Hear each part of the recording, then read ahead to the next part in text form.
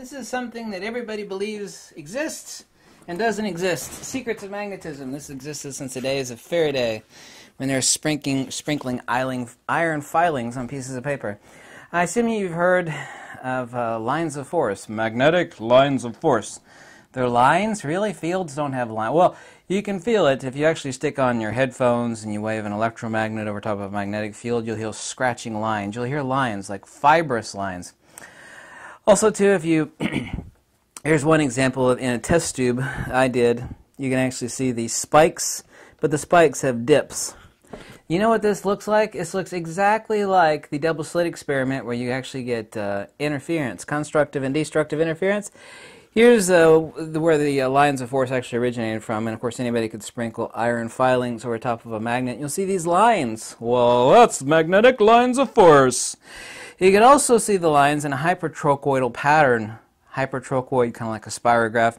Here's um, a, a ferrocell hold over top of a magnet. Here you can see the interlacing, clockwise, counterclockwise, uh, constructive, destructive interference of a magnet over top of a supercell. Here you can see the same thing. Either one of these is the pole of a magnet, by the way. You can see the uh, same lines. Why? Those are lines of force. That has to be what that is. Well, there are no lines of force. The torus that makes up the field around a coherent magnet is actually a conjugate uh, magnetodielectric field of the torus representing magnetism, force and motion, and the hyperboloid representing inertia and acceleration of the dielectric. You have this conjugate interplay, or yin and yang, if you will. I'm going to actually read from part of my lecture and also from the fourth edition of my book, so I assume it's okay to read this since I wrote it to begin with.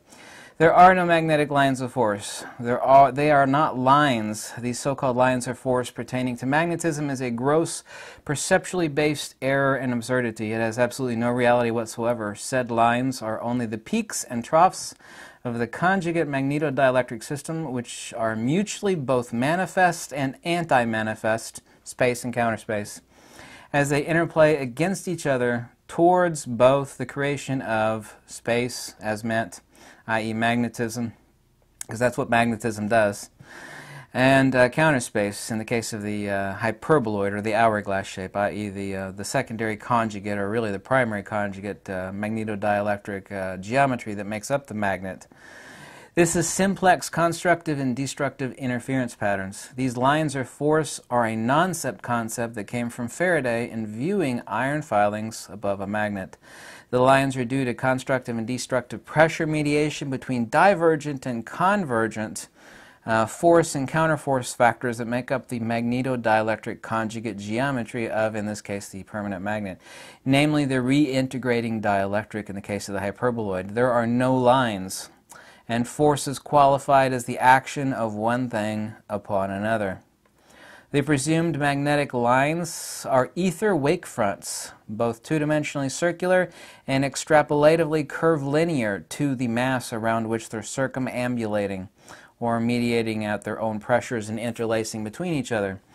These endless wake fronts are the genesis of magnitude, which begets the measure of same, so conceptualized as time constructive and destructive phase due to spatial variance and or the displacement depending on the subject observed, be it light or the magnetodielectric interlacing of a palpable magnetic field of a magnet is the source of these presumed lines of force and or the lack thereof, or the valleys exist between the actual lines that we observe. Observance is one thing.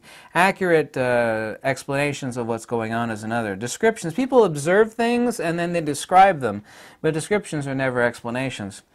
The absence of light or the assumed magnetism is a destructive uh, rather than loss of self-canceling in the dielectric, which terminates, of course, in counter space. This interference is observed in the double slit experiment in the exact same manner. However, contrary to mathematicians, falsely paraded as scientists, by the way, there are no waves of light, since, of course, waves are not a thing, nor is light a damn particle. Um, in the case of the double slit experiment, you don't even need a double slit. You only need a single eye, not the needle, which of course would be a bifurcated double bar, but just the bar of a needle. And you could actually have the same constructive and destructive interference patterns. So all of these things are not representing lines. They're representing out the pressure mediations which exist in the magnetodielectric conjugate field, Well, we see lines. Well, look, I sprinkle the iron filings and I see lines. That's the magnetic lines of force. No, the magnetism is completely uh, ex- extant as a toroid around these uh, quote unquote north and south poles.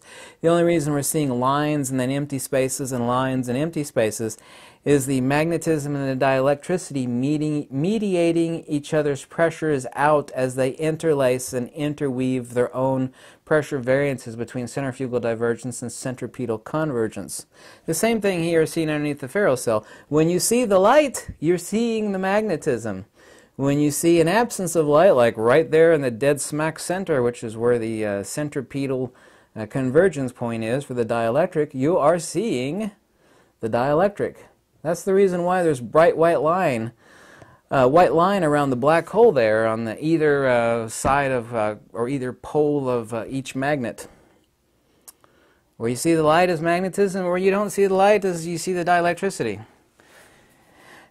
These interference patterns that make up the gyromagnetic precession as they interlace between each other are necessitative. Um, same thing we have with regular waves on the ocean. Waves of what? Waves of water. They will interlace. They will become either constructive and make a larger wave, you know, waves out in the ocean. They'll actually make either a larger waves or if depending on their interference pattern and frequency, they will actually uh, self-annihilate. Um, these same interference patterns in the magnetodielectric are exactly like that. So there are no actual lines of force. Like, There's a line out there and it's a force. It's magnetism. Magnetic lines of force.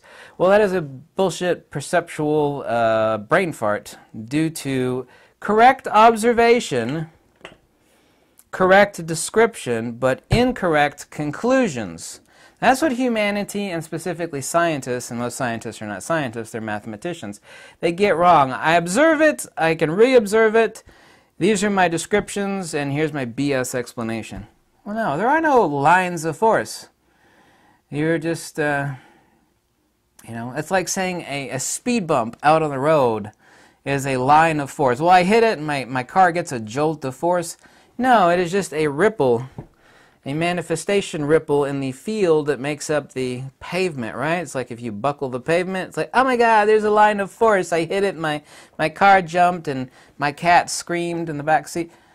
No, it's all still the blacktop. Magnetism, of course, is the dielectric field. We only define magnetism by what it does, extrapolatively different from what the dielectric does.